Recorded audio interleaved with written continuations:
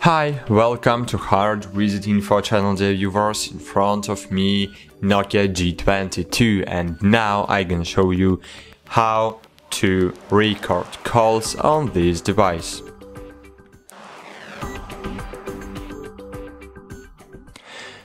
To do it you just need to open the Play Store and find here Cube ACR application and click install.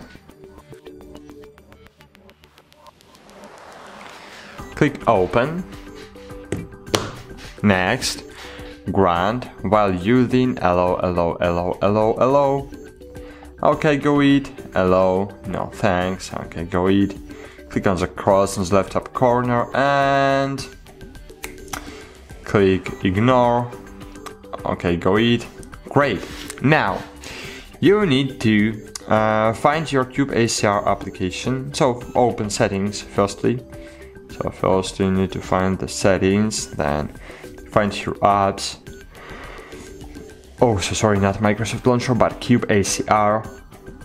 Uh, here in the Cube ACR, we need to find permissions and check contacts, allow files, microphone, your devices, phone. Okay, uh, remove permissions and free up space. No. Go back then scroll down battery. Here we need to choose unrestricted mode. Go back.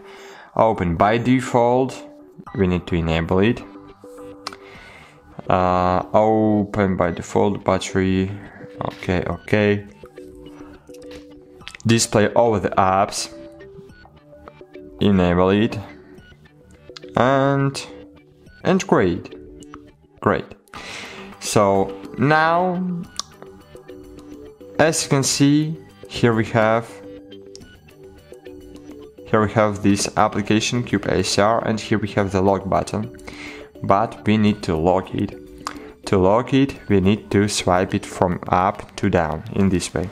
And as you can see now my lock icon is white. It means that I have logged this app in my uh, in my RAM and it means that this app will always running at the background. So that's it, thanks for watching, like this video, subscribe to our channel and bye, see you!